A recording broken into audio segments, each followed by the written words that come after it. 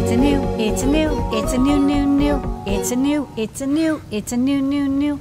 New, new, new. New, new, new, new, new, new, new, new, new, new. Okay, this week let's kick it off with. Okay, there's a kind of like a half updated, half new product. Um, so a while ago, we bought a whole bunch of these um, hammer header kits for Raspberry Pi Zero that only come with uh, the male plug header, and uh, we kind of forgot to put them in the store. And then we found them, and we're like, oh, we should really stock these. So if you have a Raspberry Pi Zero W or 2W or original Zero, and you want to plug in a um, bonnet or a hat or a fat or whatever, some sort of thing that uses the 2x20 header, and you don't want to solder, you don't want to learn how to solder, you can use these Pimoroni hammer headers. Um, and what they do is they let you um, do this kind of cold weld where you um, literally use a hammer or a mallet, use any one that you have already, and you gently tap, tap, tap, and pop the pins of this um, header through, and it will make a solid connection that you then don't have to solder. Um, so I'll show it on the overhead because it's kind of funky. We haven't shown these in a while. Okay. Uh, so you get your Raspberry Pi Zero, and it comes with like a plastic plate, and then uh, these little screws that help line things up.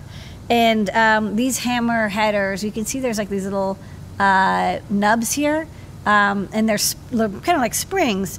Um, like you can't press them in by hand, but again, uh, if you put this uh, thick piece of plastic on and hammer with a, a mallet, um, it will uh, press all the way through, uh, pop in, and then you'll basically have a solid connection without needing to solder. Um, so it could be useful if you don't have a soldering iron, um, or you don't trust yourself with one, or you don't want to give someone else one. Um, yeah, it's a couple bucks, and all you need is a mallet or hammer. Okay, next up. Okay, uh, this is the um, update to the AP 3429A, which was a buck converter for about five volts down to three volts. Uh, we love these little buck converters. Once in a while, you just need, you know, an amp or so out, um, and you want to give it a couple AA batteries, or you want to give it a lipo, or give it USB. And an LDO won't do the job because again, you need an amp, and you're not going to get an amp out of a small LDO. The only thing is the AP 3429A, you'll never believe what happened, Phil. Um, it's basically unavailable. There's a chip shortage. I couldn't, can't Hey, get it. hey, where you? Where guys been? How's it going? Yeah, so we ordered the chips Uh. and we don't think they're ever coming in. And so I was like, you know what, let's just revise this. I found a similar enough uh, chip. Uh, can you go two more? This one? Yeah, it's the TLV 62569. So this is an update slash revision, but I'm keeping the same product ID because it's basically just a better version of the previous chip. It's a slightly higher frequency. Um, it actually has higher current output. Uh, I also uh, doubled the copper thickness on the PCB to two ounce copper. Um, I still would only really recommend it for about like one, 1.2 amp continuous, but you can get, uh, you know, two amp peak. I think I got 1.5 amp continuous actually on this board, but you know, I, I won't promise it. It depends on the ambient temperature. Um, but if you do need like a ton of current at 3.3 volts uh, for Wi-Fi for cellular, uh, this is a very fine uh, buck converter, and uh, this little breakout will uh, it's pin compatible with many uh, TO20 TO220 size uh, LDOs. I think the LD1117 3.3. This is pinout compatible. Okay. Next up. Another update. Uh, this is the Icarus IoT board. This is the NRF 91. Oh goodness. Can you go to the next thing? I keep forgetting the whole part number. Yeah. It's the uh, NRF 9160. Uh, this updates a couple things. One, there's now flash memory on the board. Second, it's updated. Uh, yeah, the flash memory you can see on the back.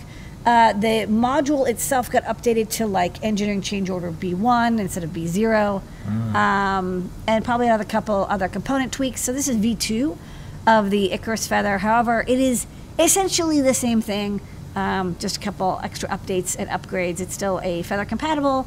Uh, it is still a cellular module that you can program. Um, I think it uses Zephyr RTOS to program, again, uh, not Arduino or CircuitPython or MicroPython compatible. All right. Next up, and uh, you know this is why we had the code. Banana, banana.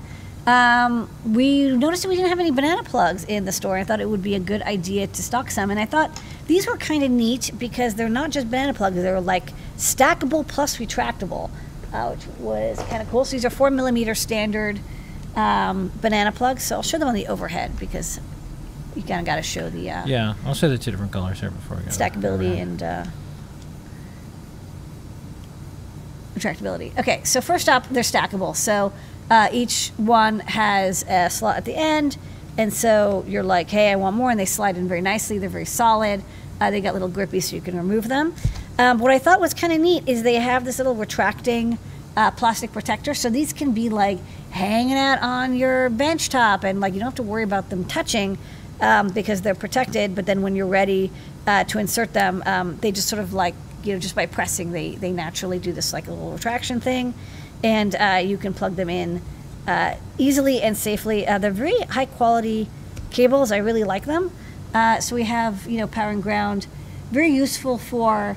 Um, you know, you have your benchtop power supply, your multimeter, um, or other test equipment that uses uh, four millimeter standard size banana plugs. Okay, and this Banana, week banana. we have two stars of the show this week besides you, Lady Ada, and our team and our customers and everyone who makes this Adafruit thing go. Yeah. Our community. It's two boards. we Got these two things. That's right. We got two updates. We've got the ADS 1015 and the ADS 1115. Uh, two uh, I squared C analog digital converters are very popular, um, but we've STEMMA QTified them because we love to add plug and play uh, support to all of our breakout boards. So we're kind of going backwards in time, and now we're getting to the older boards.